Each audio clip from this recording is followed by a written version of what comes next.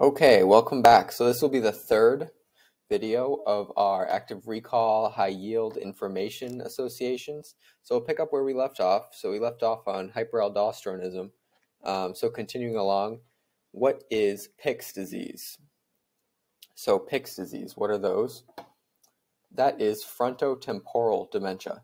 So frontotemporal dementia will have intravenous inclusions in Pick bodies.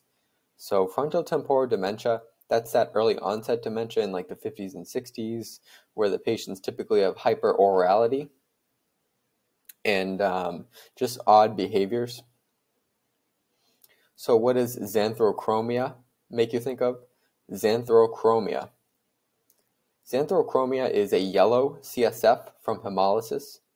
So a yellow CSF from hemolysis is xanthochromia, and that should make you think of subarachnoid hemorrhage or subarachnoid bleed. And remember the diagnostic algorithm for subarachnoid hemorrhage, where we need to get an LP if it's not visible on the initial CT. So that's why we get this yellow CSF from hemolysis, the xanthochromia. That's after we did a CT and it was not evident, so we did an LP, and we can find that on LP. So what is a Hampton's hump? Peripheral wedge-shaped consolidation or a shadow of the pleural space. How about the, also the Westermark sign, which is a decreased pulmonary vascular markings on chest x-ray. So Hampton's hump and um, Westermark sign, what does that make, make you think of? That would be pulmonary embolism. And what is our EKG finding that's most common on pulmonary embolism? That would be sinus tach. But what's the most pathom pathognomonic sign for PE. That's the S1Q3T3 sign on the EKG. So, how about bilious vomiting and abdominal distension in a newborn? So, bilious vomiting and abdominal distension in a newborn. So, that's not pyloric stenosis because it's bilious vomiting. So, this would be duodenal atresia. So, the, the lack of formation of the duodenum. So bilious vomiting and abdominal distension in the newborn. So what does Lofgren syndrome make you think of? Lofgren syndrome, hilar adenopathy, arthritis, as well as lupus pernio, erythema nodosum, which is on the shins, and, ACE, and an ACE um, angiotensin converting enzyme increase overall is found in this condition as well. So all these are signs of sarcoidosis. So sarcoidosis, an autoimmune condition, will have Lofgren syndrome, adenopathy, arthritis, lupus pernio, erythema nodosum, and also an ACE increase in sarcoidosis. So what does thumb printing of the bowel make you think of? Thumb printing of the bowel. So that would be ischemic bowel. And how about METs from a GI tumor? Where would you find those? METs from a GI tumor. You could find them in the supraclavicular nodes, which is also called Virchow's node. So Virchow's node is the supraclavicular lymph node swelling, and that's from metastasis from a gastric tumor or other GI tumor. So what's the pathogen responsible for tuberculosis? That's, of course, Mycobacterium tuberculosis. And what pathogen is associated with if you're going on a picnic, you're eating chicken salad or foods containing mayo? What kind of food poisoning or what kind of bug would you suspect would be causing that food poisoning? So that'd be Staph aureus or staphylococcal food poisoning. If you have a patient with a significantly elevated hematocrit, what is your initial thought? So significantly elevated hematocrit, that would be polycythemia vera and also the treatment for polycythemia vera would be what? It would be therapeutic phlebotomy serially. So many times you'll have to do therapeutic phlebotomy. And these patients will often have itching um, after the shower and be very flushed. So polycythemia vera, therapeutic phlebotomy, and they'll have a significantly elevated hematocrit. So how about a stocking glove paresthesia? What do you think about stocking glove paresthesias? Maybe this patient also has a loss of position sense, a loss of fine touch and vibratory sense. What vitamin deficiency you might expect. So vitamin B12 deficiency. And also the stocking glove paresthesias you could see in diabetic neuropathy as well. So what's the most common cause of death in patients with hypertrophic uh, obstructive cardiomyopathy? So the most common cause of death in a patient with HOCM, uh, hypertrophic obstructive cardiomyopathy, is actually VFib. So sudden death from VFib in HOCM. And what are our treatments of HOCM? We want to slow the heart down. We want to keep them hydrated. So beta blockers, definitively we can do. Alcohol septal ablation for those patients. So what would you think if your patient has a high alk phos? They also have bone and joint pain. You want to consider if they have a high alk and bone and joint pain, you want to think Paget's disease of the bone. So again, Paget's disease of the bone, first line treatment is what? Is bisphosphonates, and that's that increase in osteoblasts and clasts, increasing the bone turnover, um, building it up and breaking it down. So they'll have a lot of bone, but it'll be very weak. So that'll be Paget's disease of the bone, high alk phos, bone pain, treatments bisphosphonates. So vegans or vegetarians, what are they at risk of? Like we just said, vitamin B12. And also, actually, sooner could be folate, although everything's fortified now. Peaked T waves, this is an easy one. When do we see peaked T waves on EKG? So we see peaked T waves in hyperkalemia. We can also see hyper, okay, when do we see hyperacute T waves? So when do we see hyperacute T waves? That's the first sign of a STEMI. So hyperacute T waves is the first sign of a STEMI and then the ST segment elevation, and then after we see the pathologic Q waves. So, but peak T waves is hyper K. What does pica make you think of? So pica is the eating of objects that are basically not food. So a common one is ice. It could also be like soil or metals and stuff like that. That makes you think of iron deficiency anemia. Iron deficiency anemia for pica. And what are some other findings of iron deficiency anemia? Dizziness, lightheadedness, pallor, maybe some angular cheilitis on the um, edges of the of the lips. What is the syndrome in a diabetic when they have um, hypoglycemic? When they have hypoglycemia and then they have a response with hyperglycemia. And how is that different from the other syndrome? So that's the Somogyi syndrome. So they have a nocturnal hypoglycemia.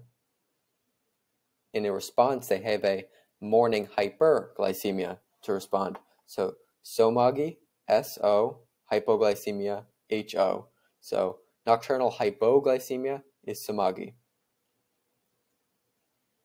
So in a patient, if they present with a progressive proximal, proximal muscle weakness, meaning the hips or the shoulders or the core. So proximal muscle weakness, difficulty climbing stairs and brushing the hair, and importantly, an elevated CK, creatinine kinase, or aldolase. What diagnosis does that make you think of? Makes you think of polymyositis as opposed to polymyalgia rheumatica. Because polymyalgia rheumatica does not have an elevated CK or an elevated aldolase. So this is polio polymyositis. And this will have the what kind of antibodies? This will have the anti-Jo antibodies. So how I remember that is myositis, anti-Jo antibodies. And also remember polymyalgia rheumatica, the one that's pretty similar, is a having a 50% association with what condition? That'll be giant cell temporal arteritis. So hypocalcemia is associated with what finding on EKG? So for hypocalcemia, you'll see a prolonged QT interval. So a prolonged QT interval in hypocalcemia. And for multiple myeloma, what are we going to find on radiograph? So multiple myeloma, which we discussed earlier, what are you going to find on radiograph? These will be punched out lytic lesions found on radiograph in the axial skeleton. So typically in the spine.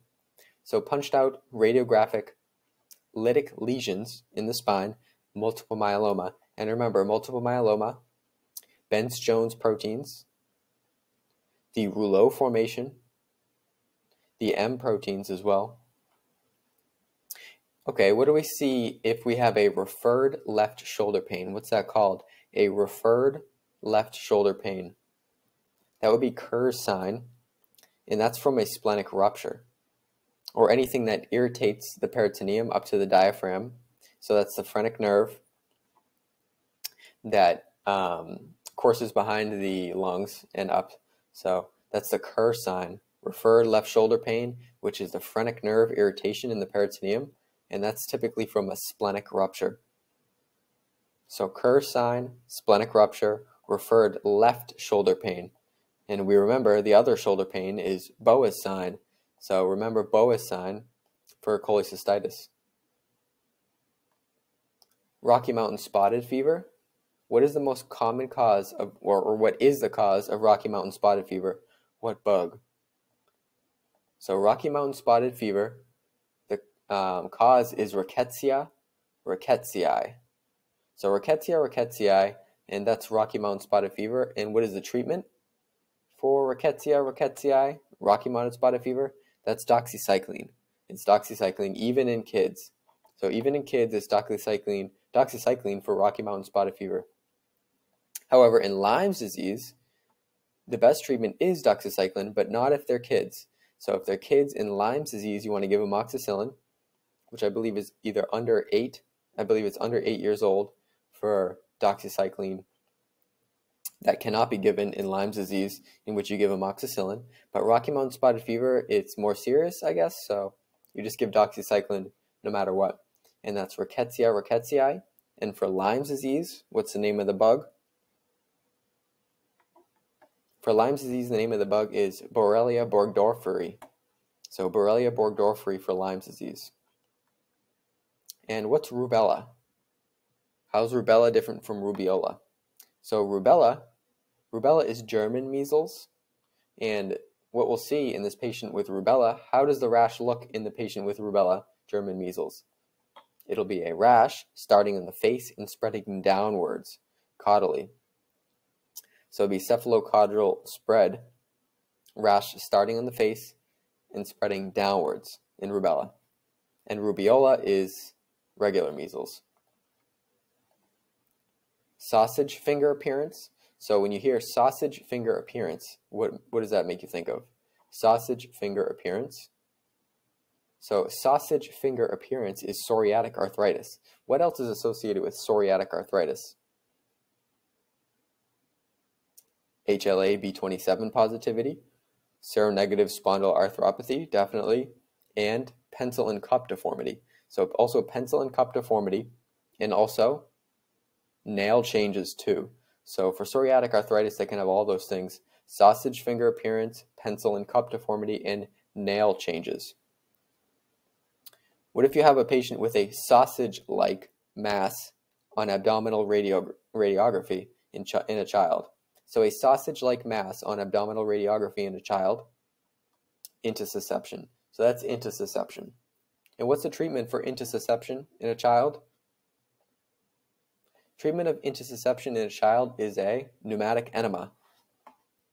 And should they go home after this treatment or should they stay inpatient? They should stay because there's a high rate of recurrence. So even after you use the air enema, there's a high rate of recurrence for intussusception. And again, sausage like mass on abdominal radiography in a child is intussusception. So, what is a complication following a D&C? Dilation and curettage. What is a complication? So, the endometrium could be scarred, and classically that's called Asherman syndrome. So, Asherman syndrome is a post D&C scarring of the endometrium. So, Asherman syndrome, post um, D&C scarring of the endometrium. What are the clinical findings in TTP, thrombotic thrombocytopenic purpura? TTP, thrombotic thrombocytopenic purpura, is your mnemonic FAT-RN, F-A-T-R-N. So fever, anemia, thrombocytopenia, renal abnormalities, and neurologic abnormalities. So FAT-RN for TTP. TTP, fat RN. What are our EKG findings for hypercalcemia? So EKG findings for hypercalcemia, shortened QT interval. So that'll be a shortened QT interval for hypercalcemia. What is our Virchow's triad? So what's the Virchow's triad? This is like extremely high yield. Virchow's triad is SHE, stasis, hypercoagulability, and endothelial injury. So Virchow's triad, stasis, hypercoagulability, and endothelial injury. And we also had Virchow's node, which is METs from the GI tract, supraclavicularly. So stasis, hypercoagulability, and endothelial injury is Virchow's triad. So what is the progression on the EKG as we progress to STEMI? What do we see first, middle, and then after? So the EKG progression to a STEMI is first hyperacute T waves, hyperacute T wave changes, ST elevation, and then Q waves. So pathologic Q waves are what remains. What would we think of with subcutaneous nodules over the extensor surfaces? So subcutaneous nodules over the extensor surfaces. That would be RA, rheumatoid arthritis. So rheumatoid arthritis, subcutaneous nodules over the extensor surfaces. So what is syphilis treatment? So what is the treatment for syphilis?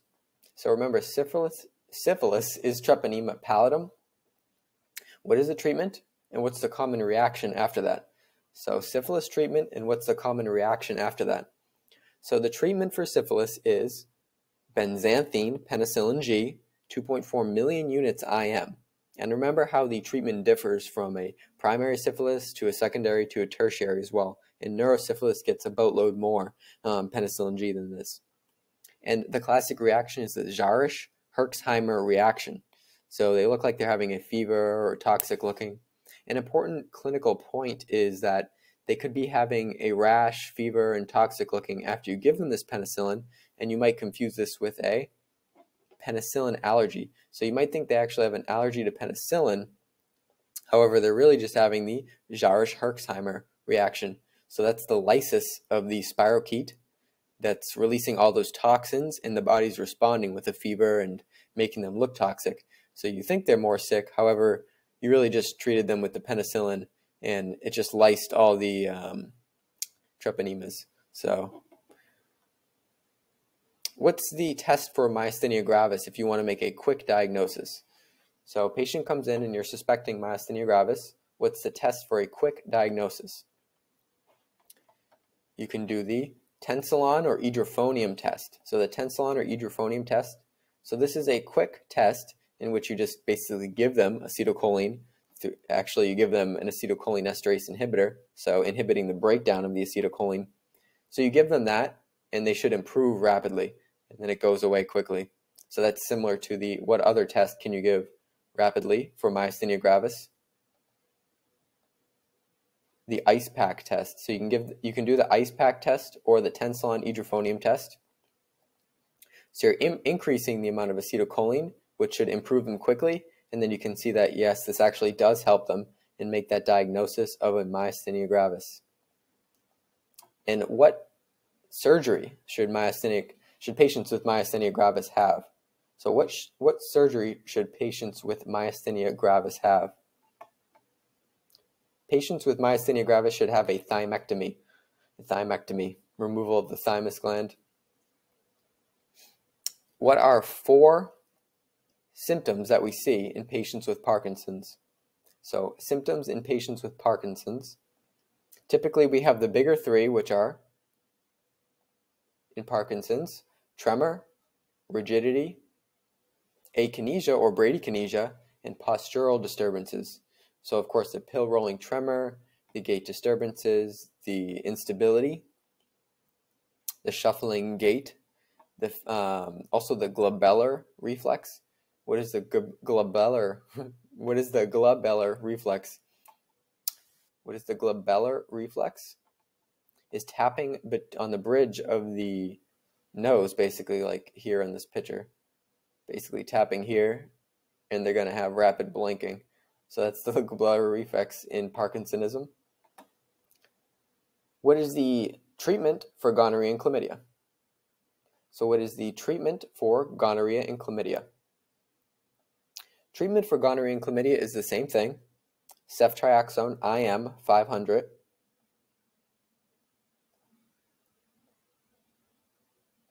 and also now doxycycline instead of azithromycin. so doxycycline 100 milligrams twice a day for seven days as opposed to azithromycin because uh, azithromycin has poor coverage if you have mm, anal gonorrhea chlamydia as well.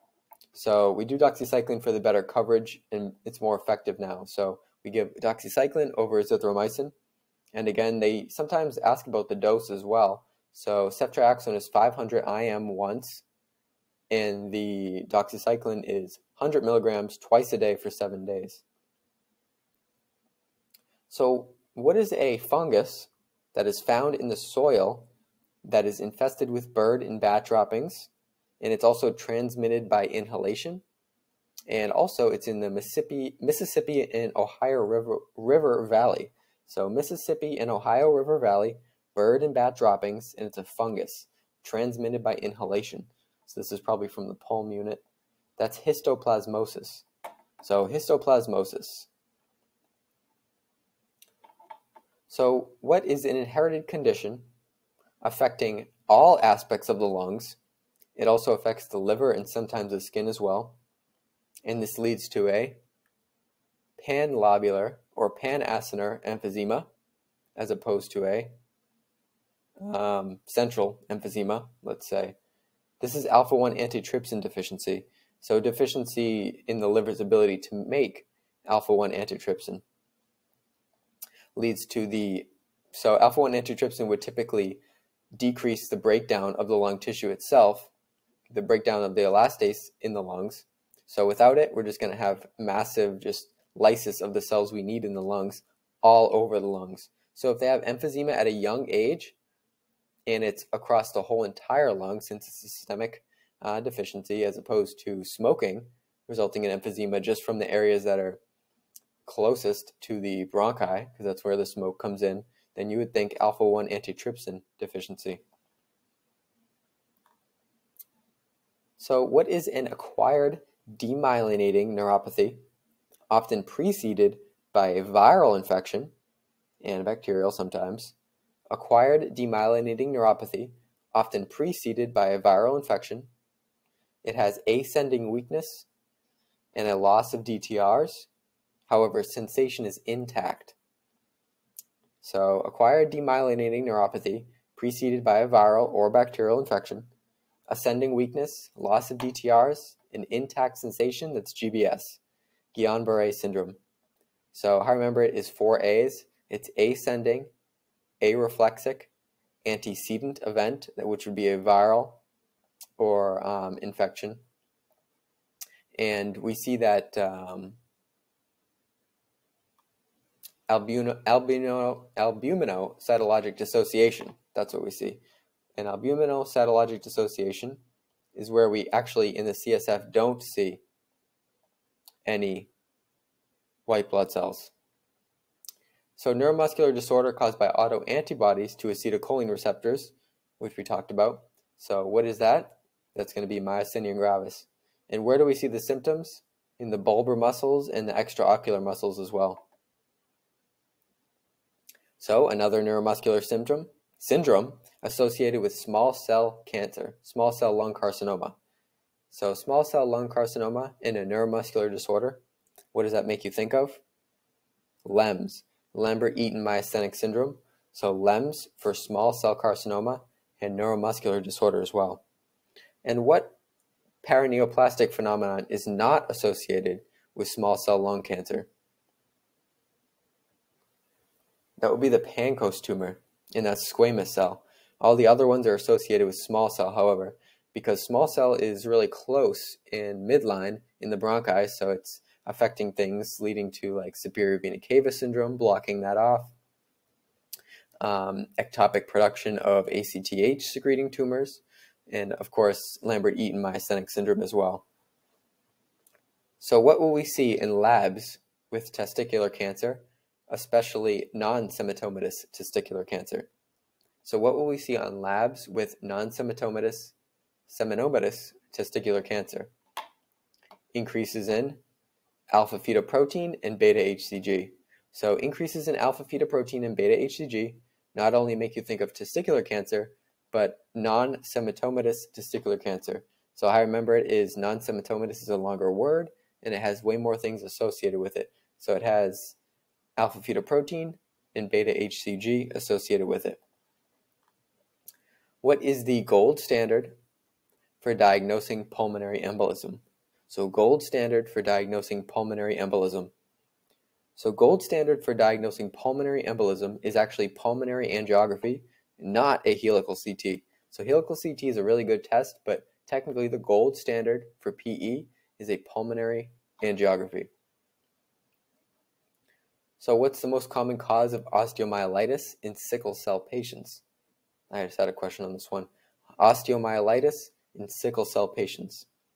So osteomyelitis in sickle cell patients is specifically salmonella. So salmonella is the cause of osteomyelitis in sickle cell patients. And we just mentioned this one. What cancer is associated with a Pancoast tumor? So what cancer is associated with a Pancoast tumor and where is the Pancoast tumor located? So cancer associated with Pancoast tumor and location of Pancoast tumor. Pancoast tumor is associated with squamous cell carcinoma and you remember the mnemonic CCCP. And Pancoast tumor is an apical tumor kind of underneath the shoulder in the lungs that can lead to many different things like an ulnar neuropathy and further metastasis as well. So, what is the most common type of lung cancer that's associated with non smokers and also women? So, lung cancer associated with women and non smokers, what is the most common cause of that? So, non smokers, it's important to know adenocarcinoma. So, adenocarcinoma is the most common lung cancer associated with non smokers. So what do we see in squamous cell carcinoma? Squamous cell carcinoma. Squamous cell carcinoma is a scaling patch or plaque. Is typically a skin lesion that's sharply demarcated with a scaling patch or plaque in squamous cell carcinoma. So name this thing the exanthem that is pathognomonic for measles. It typically occurs 48 hours before the characteristic xanthem. So occurs before 48 hours before the characteristic xanthem. That's Koplik spots. Typically found in the tongue is those white spots in the tongue and in the buccal mucosa. What do you automatically think of for tibial tubercle pain?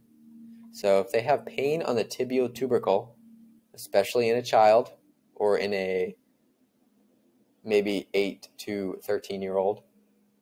Tibial tubercle pain in a child, maybe like 8 to 13 years old. Osgood Schlatter disease. So, Osgood Schlatter disease is an apophysitis of that tibial tubercle that leads to recurrent pain with activity. What's the most common cause, or what is the cause, of tinea versicolor? So, tinea versicolor is a yeast organism. What's the most common cause of that? So tinea versicolor, most common cause is a Malassezia furfur yeast. So Malassezia furfur for tinea versicolor.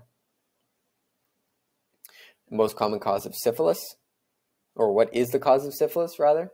So what is the cause of syphilis is Treponema pallidum. So Treponema pallidum. And what again is the reaction after we treat them due to the lysis of this spirochete? That's the Jarisch-Herxheimer reaction due to the penicillin lysing all those spirochetes. What is the atopic triad? What is the atopic triad?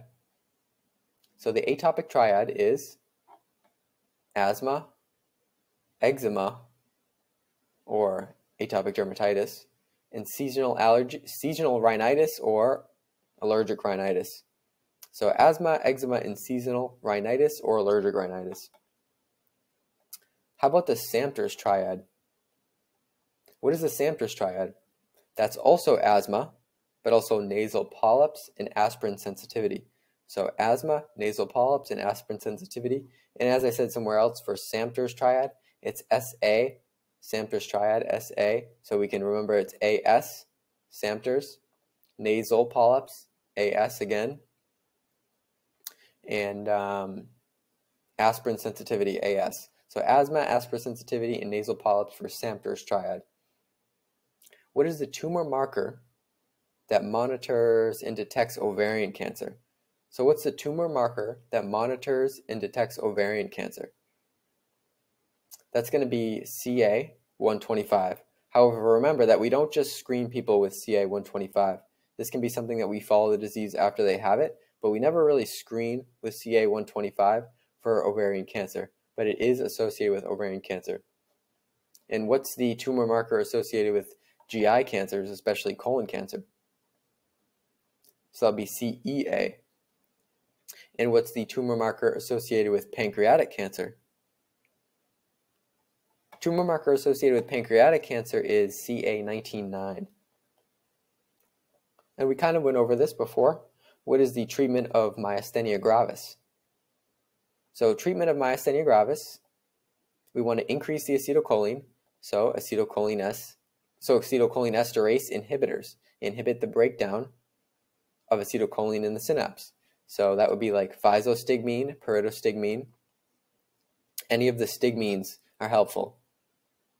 And what is another what is another condition in which we can use the stigmines as well? What is another condition we can use the increase in ACH? That'll be Ogilvie syndrome, which is a pseudo obstruction in the colon. So Ogilvie syndrome a pseudo obstruction in the colon. So that's we can also use acetylcholinesterase inhibitors for that. So treatment of myasthenia gravis, acetylcholinesterase inhibitors, and of course plasmapheresis, very important. And also, like we said, a thymectomy. So plasmapheresis, thymectomy. And a very important one here, what is the type of tick responsible for transmitting Lyme disease? I get got this question many times on Rosh.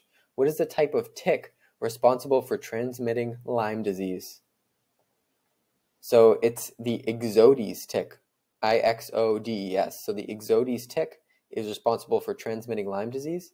And this is a deer tick, not a dog tick. So the question asked patient was in the woods, you know, classic presentation for Lyme's disease, and they were around dogs. And I picked Lyme disease, and it was wrong because the deer tick is Lyme's disease. A dog tick would be Rocky Mountain spotted fever. So interesting. So Ixodes tick for Lyme's disease. So when would we? What were? What are our EKG findings on hypo-K? So hypokalemia. What are our EKG findings? So hypokalemia. What are our EKG findings? That's going to be a U wave. So U wave for hypokalemia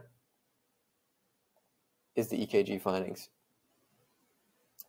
So if a patient has a, on labs you get it back and they have a visceral pleural line, a visceral pleural line. So what is a visceral pleural line? Makes you think of pneumothorax. So a line, an extra line around the viscera of the lungs makes you think of pneumothorax or a collapsed lung. What is the name of the abnormality with lithium?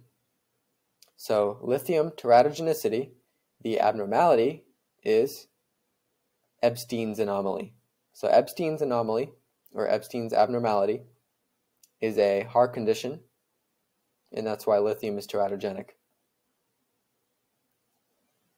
So what antibiotic would you give a febrile child with sickle cell anemia? So what antibiotic could you give a febrile child with sickle cell anemia? Ceftriaxone. We could give them ceftriaxone. And what is the infection risk after a splenectomy? So what's the problem with doing a splenectomy and infection? So patients are at risk for encapsulated organisms. So after a splenectomy, which is could be done in sickle cell patients, infection risk is for encapsulated organisms, so like strep pneumoniae, Klebsiella, Haemophilus influenza. So infection risk after splenectomy. Encapsulated organisms like strep, Klebsiella, and H. flu. And treatment of absence seizures. So what is the treatment of absence seizures? That's important to know is ethosuximide. So ethosuximide is the first line treatment for absence seizures. And one last one we'll go for EKG findings associated with PE. So we have to know the importance of EKG findings associated with PE. So the most pathognomonic finding associated with PE would be the S1, Q3, T3 pattern. You could also see right axis deviation, but the most common is sinus tach, of course. So sinus tachycardia is the most common, but S1, Q3, T3 is the most specific. Okay, so we'll leave it there until the next video.